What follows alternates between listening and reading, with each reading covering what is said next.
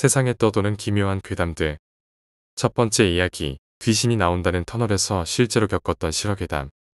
옛날 직접 겪은 이야기입니다. 술 친구들과 함께 술을 퍼마시는 도중 신명 장소에 가자는 이야기가 나왔습니다. 남자 둘, 여자 둘의 조합으로 귀신이 나온다는 지역 터널로 가게 되었지요. 안에서 클락션을 울리면 귀신이 나온다더라. 손자국이 철썩철썩하며 창문에 나타난다더라. 그런 도시전설 같은 것이 대부분이었기에 우리는 별로 기대도 안 하고 시끌벅적 떠들며 A의 차에 타고 터널로 향했습니다. 가장 신이 난 건 어릴 적부터 친했던 A였고 혹시 차체에 손자국이 나지는 않을까 기대된다고 말했습니다. 그는 오는 도중에 세차까지 하고 올 정도로 오컬트 마니아였던 것입니다. B와 C는 그냥 술 친구로 딱히 영감이 있는 건 아니지만 덩달아 따라온 듯 했습니다. 나는 친구라고는 해도 일단 여자애들과 술 먹고 드라이브를 나선 것만으로 만족하고 있었지요. 가볍게 맥주를 마시며 시골 산길을 달려 30분 만에 터널에 도착합니다. 분위기는 한껏 달아올라 A는 터널에 들어가기 전에 이런저런 무서운 이야기를 해댔고 클락션을 빵빵 울리고 천천히 터널 안으로 들어섭니다. 터널 안은 불이 켜져 있는데도 불구하고 묘하게 어슴푸레했습니다. 다들 말이 없어진 것을 신경 쓴 것인지 좋아 여기서 클락션 좀 물려볼까? 라고 A가 신나서 말했습니다. 여자아이들은 무섭다고 하면서도 무척이나 즐거워하고 있었고 두근거린다면서 A를 부축입니다. A는 기압을 넣더니 클락션을 울렸고 그러자 푸잉하는 말도 안 되게 한심한 소리가 터널 안에 울려 퍼졌습니다. 다들 빵 터져서 무서운 건 잊고 웃고 있었죠. 하지만 이변은 이런 웃음판 와중에 갑자기 일어나게 되었고 갑자기 모두가 웃음을 멈추고 차 안에 정적만이 남았습니다. 어라? 하고 뒷좌석에 여자아이들을 보자 입을 뻐끔거리며 웃고 있었고 뭐라고 할까 얼굴에 힘이 빠진 것 같은 모습이었죠. 내 귀가 이상한 것이라고 알라차리는 데는 얼마 시간이 걸리지 않았습니다. 완전히 다른 소리가 들리지 않을 뿐 아니라 자신의 목소리조차 들리지 않게 됩니다. 친구들에게 큰 소리로 도움을 요청했지만 다들 똑같은 현상에 빠진 것 같았습니다. 입만 벙긋거리며 손으로 귀가 들리지 않는다고 호소할 따름이었죠. A는 몸을 덜덜 떨면서도 서둘러 차를 출발시켰고 나는 너무 무서워서 뒤도 돌아볼 수 없었고 무언가 보고 말 것 같다는 두려움이 너무나도 컸기 때문이었습니다. 터널을 통과해도 귀는 들리지 않아 아무리 소리를 쳐도 마찬가지였습니다. 10분 정도 달려 산길을 빠져나온 후에야 너네들 괜찮아 라는 비의 목소리가 들려 그제야 정상으로 돌아왔다는 것을 알게 됩니다. 비와 씨는 뒷좌석에서 무서웠다고 펑펑 울었고 한심한 일이지만 나도 겨우 안심해서 뚝뚝 눈물을 흘리고 있었습니다. A는 터널에서 나올 무렵부터 울고 있었기에 차에 탄 모두가 울면서 드라이브를 하는 우스꽝스러운 꼴이 되었지요. 겨우 주변에 편의점을 발견해 커피라도 하나씩 사고 좀 안정을 되찾게 됩니다. 그리고 다들 아까 일어났던 일에 관해 이야기하기 시작했습니다. 나와 여자애들이 흥분해서 아무것도 들리지 않게 됐던 일을 이야기하고 있는데 갑자기 A가 말하기를 너희가 갑자기 이상해져서 무서웠다고 라며 또 울기 시작합니다. 기묘하게도 A만은 아무런 이상을 겪지 않았던 것이었죠. 계속 웃고 있던 우리들이 갑자기 큰 소리로 소리를 지르거나 아무것도 안 들린다고 도와달라고 말하기 시작했다는 것이었습니다. 혹시 우리가 미친 것은 아닌가 싶어 너무나 무서워 어쩔 도리가 없었다는 것이었지요. 눈물을 흘리며 떨고 있는 A 앞에서 우리는 모두 할 말을 잊었고 지금은 아무 문제 없이 살아가고 있지만 나는 아직도 터널을 지나갈 때마다 두렵습니다. 두 번째 이야기 신사에서 제비를 뽑았다. 다섯 살짜리 딸아이와 함께 산책하던 도중 신사에 들러 제비를 뽑았습니다. 그런데 세 번 연속 대흉이라는 결과가 나왔지요. 보통 신사에서 제비를 뽑을 때 대흉은 안 나올 텐데 이런 일도 있나 싶은 생각이 들어서 놀랐고 기분이 나빠서 집으로 곧장 돌아갔지요. 그런데 돌아온 나와 딸을 보더니 아내가 이상하다는 얼굴로 그게 뭐냐고 물었습니다. 의아해서 돌아보니 딸이 언제나 가지고 다니던 강아지 인형 대신 신사에 있는 작은 장식 사자석상 한 쌍을 껴안고 있었어요. 딸에게 묻자 신사에 있을 때 신주 같아 보이는 남자가 나타나 갑자기 딸의 팔을 잡고 어딘가로 데려가려 했다는 것이었죠. 그때 안고 있던 강아지 인형이 남자에게 달려들어 마구 물어뜯더니 그대로 남자와 함께 사라져 버렸다고 합니다. 하지만 나는 신사에서 내내 딸의 곁을 떠나지 않았고 당연히 그런 남자를 본 적도 없었지요. 바로 신사에 전화해 물어봤지만 딸이 본 것 같은 차림에 신주는 없다고 했습니다. 다음날 사자석상을 신사에 돌려주러 갔는데 거기서 만난 신주가 이상한 말을 하더랍니다. 이 사자석상은 가지고 계십시오. 앞으로 두 번 반드시 따님을 지켜줄 것입니다. 나는 앞으로 두 번이라니 무슨 소리인지 누가 딸을 노린다는 건지 물었습니다. 따님은 신의 공물로서 선택되었습니다. 그리고 당신이 제비를 뽑은 만큼 재앙이 닥칠 것입니다. 그것만 말하고 신주는 입을 다물었고 더는 무슨 질문을 해도 대답해주지 않았지요. 그리고 바로 그날 밤초 뒤변이 발생했습니다. 집 불간에서 사람 목소리가 들려서 가보니 5년 전 세상을 떠난 어머니가 앉아서 경을 외고 있었습니다. 어머니는 딸을 데리러 왔다고 했고 나는 제발 멈춰달라고 간청했지만 어머니는 생전 한 번도 보인 적 없던 광분한 얼굴로 시끄럽다 라고 외치고 일어서더니 딸이 있는 곳으로 가려 했습니다. 바로 그때 땅 울림 같은 소리가 들렸다 싶더니 갑자기 거대한 흰 개가 나타나 어머니를 한 입에 물고 불단 속으로 사라집니다. 서둘러 딸에게 가보니 딸은 자고 있었고 머리맡에 두었던 사자석상 한 쌍 중 한 마리가 사라진 채였지요. 신주는 사자석상 한 쌍이 딸을 지킨다고 했는데 이젠 한 마리 밖에 남지 않았습니다. 나는 이튿날 아침 바로 신사를 찾아가 그 일을 놓고 상의했지요. 사자석상 한 쌍은 일심동체입니다. 아마 다른 형태를 빌어 따님 곁에 있을 것입니다. 라고 신주는 말했고 나는 딸 주변에 비슷한 것이라도 있지 않을까 싶어 여기저기 찾아봤지만 비스무리한 것은 찾을 수가 없었습니다. 하지만 두 번째 이변은 생각보다 빨리 찾아왔고 다음 날 내가 일을 하러 간 사이 누군가가 현관 초인종을 눌렀다고 하네요. 아내가 문을 열자 거기에는 키가 2미터는 되어 보이는 거대한 강아지 인형이 서 있었습니다. 자세히 보니 평소 딸아이가 안고 다니던 인형과 닮은 그것은 비릿한 악취가 났습니다. 아내는 깜짝 놀라 문을 닫으려 했지만 인형의 힘이 엄청나서 막무가내로 집 안에 밀고 들어왔다고 합니다. 그리고는 부엌에 있던 딸의 손을 잡고 어딘가로 데려가려 했다는 것이었습니다. 그런데 분명 출근했던 내가 어디선가 내 발로 미친 듯 뛰어오더니 인형에게 돌진해 이빨로 인형을 마구 씹어 토막을 내버렸다는데 나는 그런 기억이 전혀 없었습니다. 그 이후 아직까지 세 번째 이변은 일어나지 않았고 나는 더 이상 신사에서 제비를 뽑을 엄두가 나질 않습니다. 세 번째 이야기 아내를 죽인 남자가 자수를 한 이유 친척 중에 교도관으로 일했던 사람이 있습니다. 교도소 내부에서 재소자들의 심리 상담이나 사회복귀 상담 같은 것을 담당하고 있었다고 합니다. 그래서 친척은 시간이 날 때마다 재소자들과 자주 이야기를 나눴다고 했지요. 주로 그들이 지은 죄에 대한 반성, 자수한 경우에는 자수하게 된 경위 등에 관한 이야기였습니다. 그중 A라는 사람에 대해서 들은 이야기가 너무나도 섬뜩했고 지금까지도 잊혀지지 않는다며 내게 들려준 이야기가 바로 이것입니다. A는 원래 평범한 셀러리맨이었지만 현재 살인죄로 복역 중입니다. 그가 죽인 것은 그의 아내였고 살해 후 사체의 처리를 고민하던 A는 집 냉장고에 아내의 시체를 토막내 보관합니다.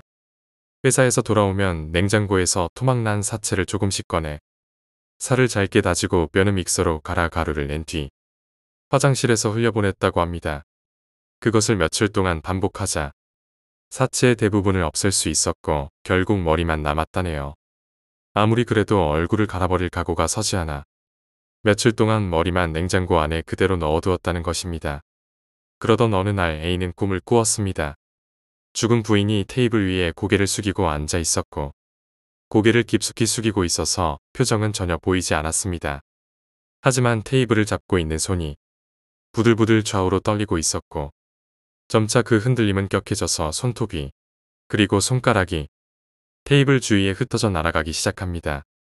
순식간에 팔꿈치까지 날아가 사라진 팔에서는 새빨간 피가 흩뿌려지고 뼈가 덜그럭대며 테이블을 두드렸다고 합니다.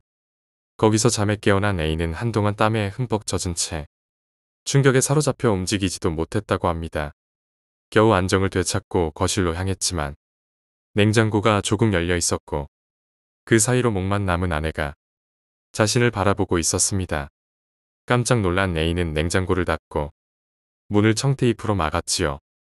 이때까지는 겁에 질려 있을지언정 아직 자수까지는 생각하지 않았다고 합니다. 그날 냉장고에 넣어둔 머리를 처리하기가 껄끄러웠던 A는 결국 새 냉장고를 사기로 했지요. 1인용 소형 냉장고라 따로 배달을 부탁하지 않고 직접 가지고 돌아왔습니다.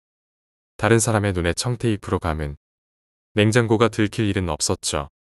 그리고 A는 그날도 꿈을 꿨고 어제와 똑같이 테이블 위에 아내가 앉아 있습니다. 다른 점이 있다면 어제 끝났던 시점에서 꿈이 이어지고 있다는 것뿐. 테이블 위에 있는 아내의 팔에서는 새빨간 피가 방울져 떨어집니다. 다리로 바닥을 차고 있고 그 움직임이 점점 격렬해짐에 따라 바닥을 차는 소리도 점점 커집니다. 점차 바닥에 피가 고이기 시작하고 다리에 살점이 날아갔습니다. 테이블 위에는 팔이 마구 흔들리며 피를 사방에 흩날립니다. A의 뺨에도 살점과 피가 날아오지만 손가락 하나 움직이지 못했고 그 광경을 바라만 보고 있을 뿐이었죠. 머릿속에서는 빨리 깨어나야 한다는 생각뿐이었지만 꿈은 좀처럼 끝나지 않습니다. 방안 가득 흩날린 피가 기분 나쁘게 빛난다고 생각한 순간 갑자기 아내는 움직임을 멈추게 됩니다. 그리고 서서히 숙이고 있던 고개를 들어 올리고 축 늘어져 있던 앞머리가 뺨에 달라붙게 됩니다. 머리카락 틈새로 치켰던 눈이 A를 향했고 그리고 얼굴을 완전히 들었지요. 아내의 머리가 몸을 돌려달라고 울부짖었고 그런 절규가 계속 울려 퍼졌습니다. 그 소리를 듣고서야 A는 간신히 눈을 뜰 수 있었고 이번에도 온몸은 땀투성이가 되었습니다. 그리고 이번에야말로 머리를 처리하겠다는 각오를 다졌습니다. A는 침대에서 뛰쳐나와 냉장고로 향했으나 그 각오는 순식간에 사라집니다. 그토록 단단하게 붙여놨던 청테이프가 모두 끊어져 있고 아내의 머리는 냉장고에서 굴러떨어져 바닥에 나뒹굴고 있었습니다. 그 시선은 A를 향해 고정되어 있었다는 것입니다. 그 시선에서 결코 도망칠 수 없다고 생각한 A는 그 길로 자수를 택했다고 합니다. 네 번째 이야기, 여자친구 아버지의 저주. 당시 사귀던 여자친구와 동거를 하고 있던 무렵의 일이었죠. 여자친구가 아버지와 대판 싸우고 집을 나왔는데 그대로 동거로 이어져 함께 살게 되었습니다. 그녀의 아버지는 목수계의 장인으로 가부장적인 사고방식이 강한 옛날 분이셨지요. 그리 안면은 없었지만 나도 내 심기가 눌릴 정도의 분이었고 하지만 일단 집은 나왔고 갈 곳이 없다니 둘이 가진 돈을 모아 욕조도 없는 낡아빠진 아파트에서 동거하게 되었습니다. 그러나 급해서 들어갔다고는 해도 환경은 너무나 최악이었습니다. 바퀴벌레도 나오고 바닥은 습기 때문에 썩어 들어가질 않나 위층에선 밴드를 한답시고 밤새도록 고래고래 소리를 지르며 노래를 했고 옆집 노인은 뭔가 기분 나쁜 사람이었지요. 하지만 사람은 적응의 동물이라던가요. 그런 최악의 환경에서도 우리는 조금씩 적응해가며 동거 생활을 이어갔습니다. 나는 건축 현장에서 노가다를 뛰고 여자친구는 노래방에서 야간 근무를 하며 생계를 이어갔지요. 그렇게 산 지 반년 정도 지났을 때 이상한 일이 일어나기 시작했습니다. 어느 날 아침 아르바이트를 하러 가려고 자전거를 탔는데 뭔가 느낌이 이상했고 타이어를 확인해 보니 펑크가 나 있었지요. 어쩔 수 없이 그날은 걸어서 출근을 하고 휴일에 자전거 가게를 찾아 수리를 받았습니다. 그 가게는 구멍 개수가 많을수록 돈을 더 받는 곳이었는데 앞뒤를 합쳐 거의 대여섯 개는 되는 구멍이 뚫려 있었지요. 자전거 가게에서는 누가 장난을 친 것 같다고 목 같은 걸로 찔려 있다고 말했습니다. 그리고 며칠 후 집에 욕조가 없다 보니 매일 저녁 여자친구와 함께 근처 공중 목욕탕을 찾곤 했습니다. 자전거에 둘이 같이 탄 다음 목욕탕까지 가서 목욕을 하고 다시 자전거를 타고 돌아왔지요. 그날도 목욕을 마치고 나와서 자전거에 둘이 올라탔는데 또 느낌이 이상했습니다. 아니나 다를까 이번에도 바퀴에 펑크가 나 있었고 다음날 자전거 가게에 가져가 보니 또 상당히 많은 구멍이 뚫려 있었습니다. 며칠 후에는 여자친구가 자전거를 타고 쇼핑을 나갔는데 쇼핑을 마치고 나오니 펑크가 나 있었다고 합니다. 결국 자전거를 질질 끌고 집까지 돌아왔다는 것이었죠. 그 외에도 같이 자전거를 타고 전철역까지 간 다음 놀러 갔다가 돌아왔더니 바퀴에 수도 없이 구멍이 나 있기도 했습니다. 그런 일이 정기적으로 벌어지다 보니 하도 바퀴를 자주 떼어서 타이어가 걸레짝 마냥 되어버려서 결국 새로 사고 말았죠.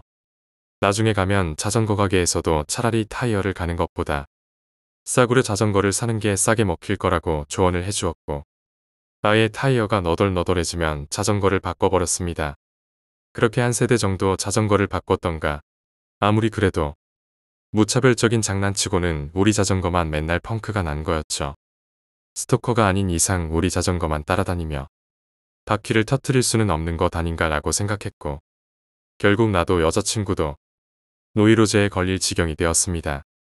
위층에 사는 밴드맨, 옆집에 섬뜩한 노인, 누군지 모르겠지만 우리를 괴롭히려 드는 건 아닌가 의심하는 지경에 이르게 됩니다. 하지만 결정타는 둘이 함께 멀리 여행을 갔을 때였고 돌아오는 길에 생겼습니다. 렌트카를 빌려 떠난 여행이었는데 고속도로 휴게소에서 저녁을 먹은 후 차에 올라탔는데 뭔가 이상합니다. 왠지 차가 기운 느낌이랄까? 차에서 내려 조심스레 타이어를 확인하자 차 오른쪽 두 개의 타이어에 펑크가 나 있었지요. 이 정도까지 되자 나도 여자친구도 화가 난다기보다는 공포에 질리고 말았고 이 짓을 한 놈은 우리가 여행을 간다는 것마저 사전에 알고 있던 것일까? 그래서 타이어에 구멍을 내기 위해 고속도로까지 타고 따라온 것일까? 도대체 우리한테 얼마나 큰 원한을 가지고 있는 거란 말인가? 혹여나 집에 도청기라도 달아놓고 따라다니는 건 아닌가 싶은 생각까지 들어 방 안에 콘센트까지 분해하며 찾아봤지만 그것 비슷한 것 하나 나오지 않았습니다. 그러던 어느 날 건축 현장에서 일을 하던 도중 나는 다치고 말았지요. 부주의로 그만 못을 세게 밟아 병원으로 보내진 것이었습니다. 밟은 못이 녹슬어 파상풍의 가능성마저 있었기에 꽤 큰일이었지요. 겨우 진료를 마치고 집에 돌아와 나는 여자친구에게 그날 있었던 일을 말해 주었습니다. 여자친구는 내 상처를 걱정하다가 갑자기 무언가를 깨달은 듯 얼굴이 어두워졌고 잠시 후 입을 열게 됩니다. 만약에 내가 타이어였다면 펑크가 났었겠네. 그 말을 듣자 처음으로 내 사고와 펑크의 연관성에 생각이 다다랐고 하지만 만약 내 상처도 계속 이어지는 타이어 펑크와 관계된 거라면 범인은 살아있는 사람이 아니라는 소리였죠. 그 수준이면 이미 저주나 악령 단계이기에 여자친구는 당장이라도 울 것만 같은 얼굴이었습니다. 넌 너무 걱정이 심해. 라며 여자친구를 달래줬지만 솔직히 나도 무서워서 어찌할 도리가 없었습니다. 하지만 잠자리에 들자 기분 나쁜 생각만 들었고 혹시 이 아파트가 저주받은 곳인가? 라고 생각이 듭니다. 하지만 개 중에서도 가장 두려웠던 건 여자친구가 다치는 것이었습니다. 이번엔 내가 다쳤지만 다음엔 혹시 여자친구마저 다친다면 몇 주 동안 고심하고 서로 대화한 끝에 여자친구는 집으로 돌아가기로 했지요. 혼자 아파트에 남는 건 쓸쓸하고 두려웠지만 우리 집은 워낙 시골이라 돌아갈 수도 없었습니다.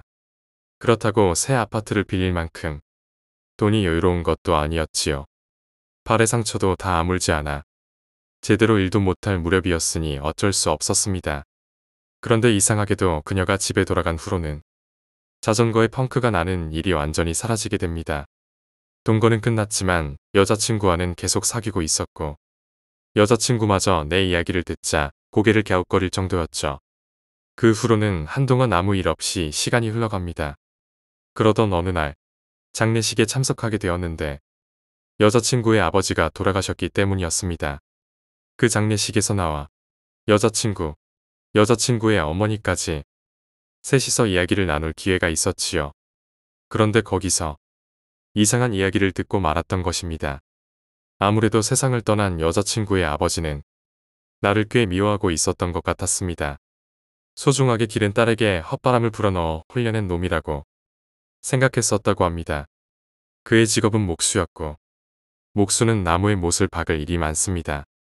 그는 나무의 못을 박을 때마다 나에 대한 원한을 담아 못을 박고 있었던 것 같았고 마치 지피형에게 못을 박아 저주를 하는 것처럼 그렇게 하고 나면 기분이 시원해진다고 말했다고 합니다.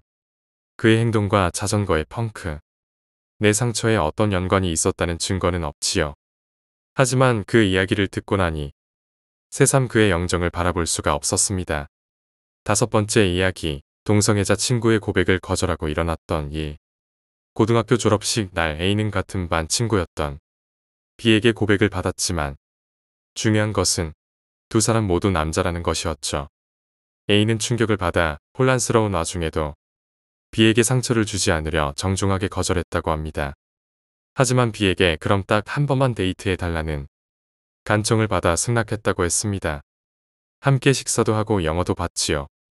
그렇게 데이트가 끝나고 헤어질 때 B는 자신이 만약 여자였다면 A는 나랑 사귀었을까 하고 물었습니다. B는 다른 지역의 대학으로 진학할 예정이었고 아마 더 이상 만날 일은 없을 것이라는 생각이 들었죠. 둘이서 즐겁게 보냈던 학교 생활을 떠올리니 A는 갑자기 외로워졌다고 합니다. 내가 여자였다면 결혼까지 했을지도 몰라. B는 그 대답을 듣자 고마워, 미안해, 안녕이라고 말하면서 울면서 떠나갔습니다. A도 눈물을 흘리며 B의 뒷모습이 사라질 때까지 손을 흔들어 주었죠. 몇 년 뒤 A는 아르바이트 하던 곳에서 만난 C라는 여자아이에게 고백받아 사귀게 되었습니다. C는 툭하면 여자로 태어나서 다행이라는 말을 하는 아이였고 어느 날 문득 C가 또다시 그 말을 꺼냈을 때였습니다. 평소에는 그저 흘려듣던 A가 무심코 왜 그런데? 라고 물어봅니다. 그러자 C는 만약에 자신이 남자라면 A는 자신과 사귀지 않았을 거라고 대답을 했지요. 그때 갑자기 A의 머릿속에 떠오른 것은 B의 얼굴이었습니다. 그 전까지는 완전히 잊고 살고 있었는데 C의 그 대답은 B를 떠나보낼 때 들었던 말과 완전히 똑같은 말투였던 것이었죠. 게다가 그 대화를 한 곳은 B와 헤어졌던 그곳이었습니다. 그때는 우연이겠거니 하고 넘어갔지만 그후 C의 행동을 유심히 살펴보니 놀라울 정도로 비와 닮았다는 것이 느껴집니다. 웃는 모습, 식사하는 방법, 책 읽을 때의 모습, 좋아하는 음식, 음악, 영화까지 그야말로 판박이었던 것입니다.